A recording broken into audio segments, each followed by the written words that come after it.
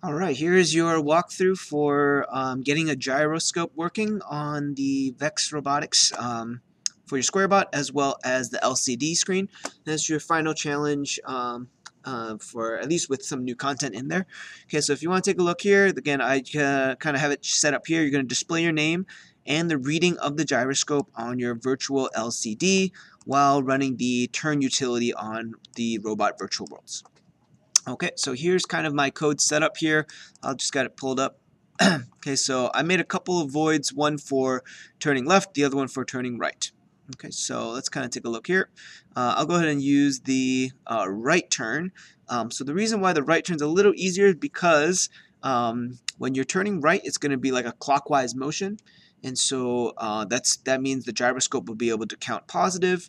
Uh, if you go the other direction, it will be more in the negative direction, so just kind of keep that in mind. Now, the couple things to get started within my function, right? So I named this function uh, gyro right turn, and I created a parameter in here that's degrees based on every de 10 degrees. All right, and so that's how I have this set up. Um, now, if this is going to read while the sensor value for the gyroscope is less than whatever value. Okay, so for mine here, I have it set up to 900. So it's actually degrees times 10. So it's 90 degrees times 10 gives me 900. Okay. Now what I want it to happen is I actually want the LCD to uh, show me whatever the sensor reading is. So the set, the LCD code is actually built into my while loop. Okay, the first thing we ever we always do whenever we're working with the LCD screen is clear both lines so that we have we're starting from scratch, empty lines. So clear LCD line 0 is the top line, clear LCD line 1 is actually the bottom line.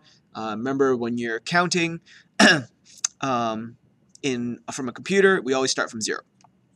Okay, now I'm displaying stuff, so I'm going to display LCD string. A string entails a series of letters, so uh, the zero, the first zero is talking about what row I'm starting at. The second zero is um, which line, uh, sorry, I should say which space it is. So I'm going to start from the top line, first space, and uh, I'm going to type my name in there. Okay, so for you, you include your name. After that, I'm adding another string starting from the bottom row, so that's the one. Again, the first space there gives me 0, and then I'm going to type in gyro okay, for the gyroscope. And um, notice I put a space after that just so that uh, it's kind of gives me a little gap before I display the number, and the number is going to be the sensor value. All right, and I chose, again, the second line, so that's why it's a 1. The 5 here is talking about the fifth space, and the reason why I'm choosing that is um, looking how many characters I fill up before that. So the G would be the 0, y1, r2, the, the O is 3, the space would be 4, so that takes me to the fifth uh, space. Uh, that's where I'm going to start displaying the sensor value. Okay, the wait 1m sec, this is kind of like your refresh rate, so that um, so it's saying every 0.1 second it'll refresh this display. Okay, and then finally I want it to keep turning so in this case, again, it's going to be my right turn, hence the right motor goes back, left motor goes forward, that lets me do a, uh, a point turn. Okay, and then finally, uh, you want to kind of readjust for any drifting. Um, so typically it takes that split second for the robot to actually stop since it had some momentum already while it's turning. And so this just is kind of a brief kind of break where I actually turn the motors the opposite direction just for a split second so a quarter of a second, that allows it to readjust. All right, so I'm, um, your task would really be to create something similar, except you're going to do it for the left turn. And uh, the other couple things to remind you of is these first few lines of code, uh, you want to use these every time you're using the gyro. First off, you want to clear out any of the previous sensor readings. Okay, so we do that first. Then um, configure whatever port it is as the gyro sensor. And then finally, we're kind of creating what the full count would be. So that's where it will reset itself. Um, so right now it's set up to be 3600. That means a 360 degree turn essentially.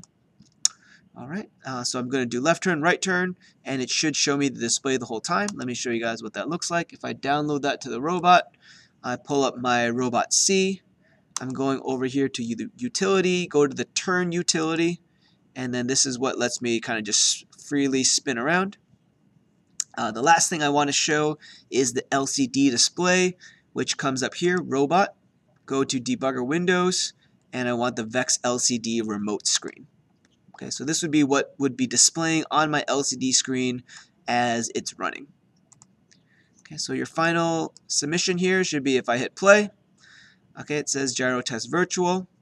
And as it's turning this way to the left, it counts negative. As it turns to the right, it's counting positive.